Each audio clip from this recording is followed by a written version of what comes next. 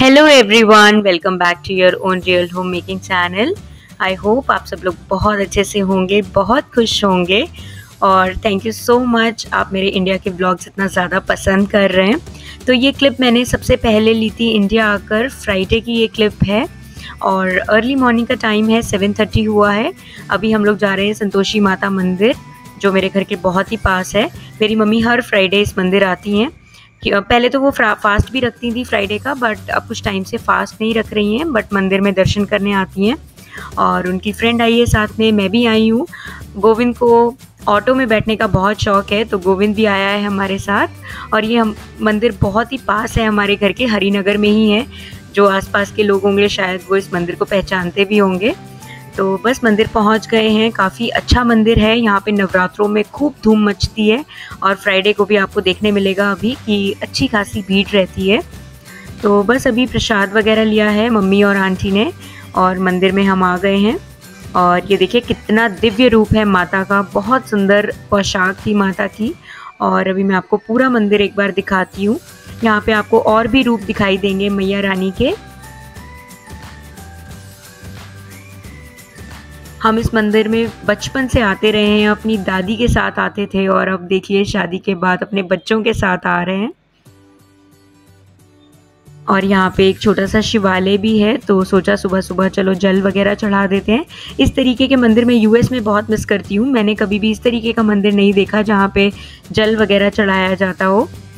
तो बस अभी जल वगैरह चढ़ाएँगे और फिर थोड़ा सा दर्शन करेंगे और और यहाँ पे मॉर्निंग के टाइम पे भेंटें चल रही थी क्योंकि फ्राइडे है, काफ़ी लोग यहाँ पे आकर कथा वगैरह करते हैं।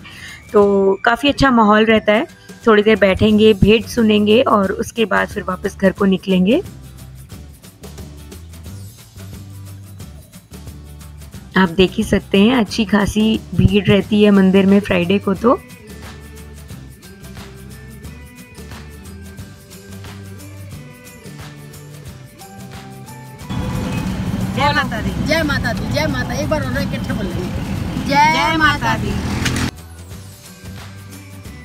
Hello everyone welcome back to your own real home making channel I hope आप सब लोग बहुत अच्छे होंगे, बहुत खुश होंगे and thank you so much आप लोगों ने मेरे फैमिली ब्लॉग को इतना ज़्यादा प्यार दिया तो मैं कोशिश कर रही हूँ एज मैनी एज पॉसिबल आप लोगों के लिए ब्लॉग्स बना पाऊँ।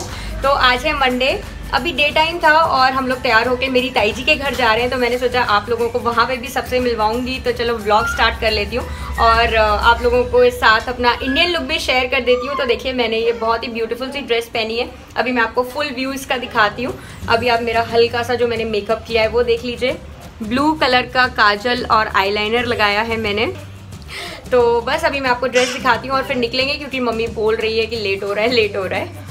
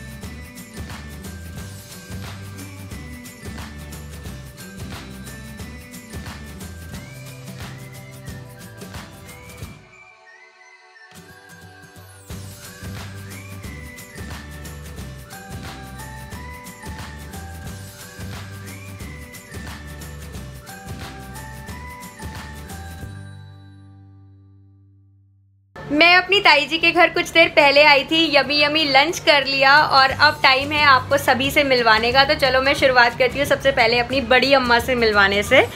तो अम्मा देखो। हाँ, नमस्कार। नमस्कार सबको।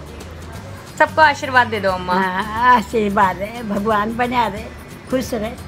हाँ कोई देख रहा है हाँ ये देख रहे हैं अम्मा आपको सब देख रहे हैं अच्छे। ये मेरी मेरी जो दादी थी उनकी बड़ी बहन भी हैं और जेठानी भी हैं तो दो दो रिश्ते हैं। ये हमारी बड़ी अम्मा हैं। हमारे बाबा अब नहीं हैं बट अम्मा हैं।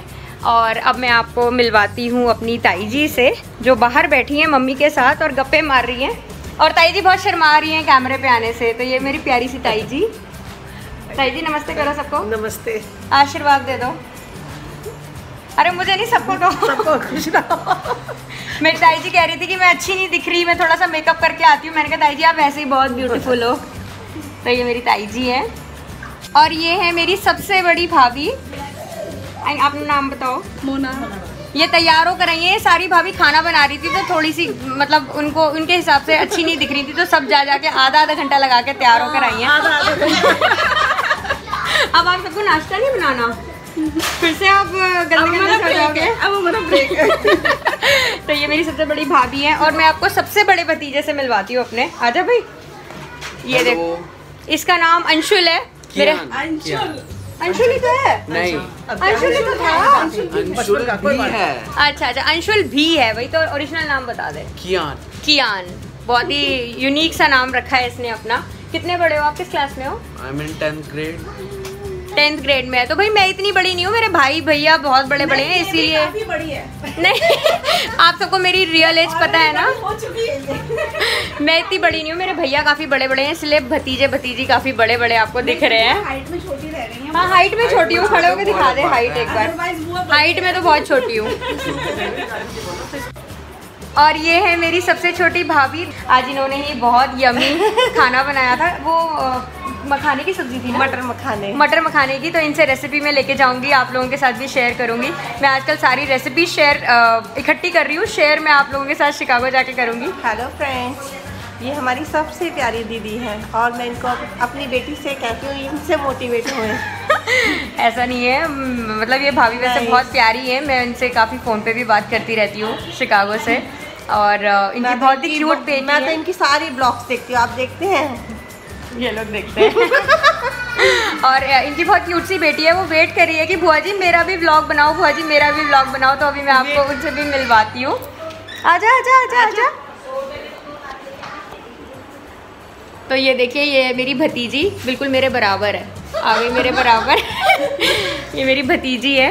वैसे मैं इतनी बड़ी नहीं हूँ क्योंकि भैया बड़े हैं इसलिए भतीजे भतीजी काफ़ी बड़े बड़े हो गए हैं। हेलो बोल दो। हाउ आर यू ऑल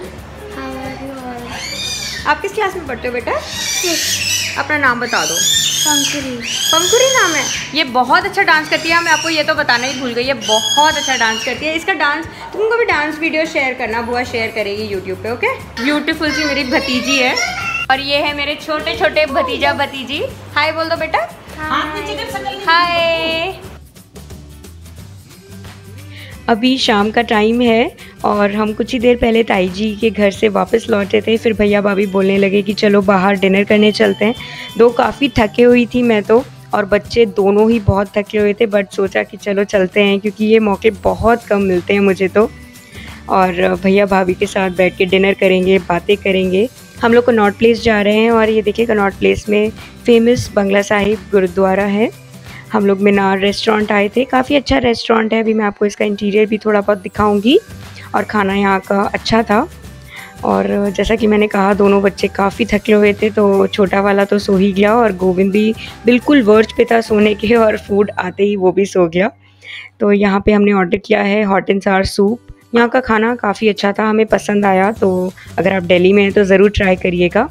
उसके बाद हमने प्रॉपर इंडियन खाना ऑर्डर किया था चूर चूर नान अ, मलाई कोफ्ता और फ्राइड राइस हमने बच्चों के लिए ऑर्डर किया था बट बच्चे खाना आते ही सो गए थे। तो बस अभी हम लोग बैठ के खाना एंजॉय कर रहे हैं। हमने मम्मी पापा को भी बोला था कि आप लोग भी चलो हमारे साथ बट मम्मी भी टायर्ड थी काफ़ी। और फिर उन्हें कुछ कल हमारे यहाँ त्यौहार है छोटा सा गुगा अष्टमी का तो उसकी भी तैयारी करनी थी तो मम्मी नहीं आई। और फिर हम ही तीनों बस आए हैं और हम लोग इन्जॉय कर रहे हैं अपना डिनर और बस डिनर करने के बाद वापस घर पे निकलेंगे। अभी हम लोग थोड़ा सा फैमिली टाइम अपना इन्जॉय कर रहे हैं। आज की मेरी वीडियो यहीं तक थी। होप करती हूँ आपको ये छोटा सा प्यारा सा ब्लॉग पसंद आया होगा। अगर पसंद आया तो प्लीज़ इस वीडियो को लाइक करिएगा शेयर करिएगा और चैनल को सब्सक्राइब करना बिल्कुल मत भूलिएगा। अगर आपने अभी तक नहीं किया है तो और मुझे कमेंट सेक्शन में ज़रूर बताइएगा कि आप और किस तरीके के इंडिया के व्लॉग्स देखना पसंद करेंगे। और फिर से मिलेंगे एक और नए व्लॉग में। तब तक के लिए आप ढेर सारा अपना ख्याल रखिए। बाय